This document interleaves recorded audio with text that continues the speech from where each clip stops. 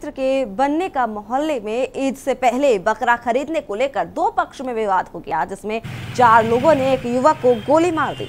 गोली मारने के बाद हमलावर हवा में हथियार लहराते हुए मौके से फरार हो गया। बता दें कि गंभीर हालत में युवक को निजी अस्पताल में भर्ती कराया गया है। घटना की सूचना मिलने के बाद मौके पर पहुँचे एसपी सिटी का कहना है कि पीड़ित परिवार की तहरीर पर चार लोगों के खिलाफ नामजद मुकदमा दर्ज कर लिया गया है। पुलिस आरोपियों की धरपकड़ का प्रयास कर रही है।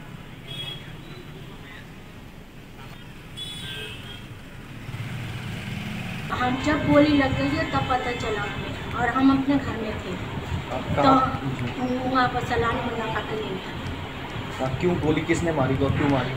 वो बगरा बाज़ार लगा था उसमें क्या नाम जीना जब भी पैसों के चक्कर में बीच बचाव करा उसमें लगी बारादरी अंतर्गत मोहल्ला मुन्ने खां की नींव के पास में। बकरे खरीदने को लेकर विवाद हो गया। उक्त विवाद में चाँद खां, खतीब, नदीम और आमिर के द्वारा फायरिंग की गई।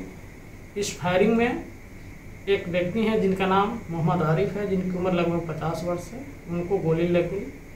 उनको इलाज हेतु बरेली के एक निजी अस्पताल में भर्ती कराया गया है, जहाँ पर उनकी हालत खतरे से बाहर है।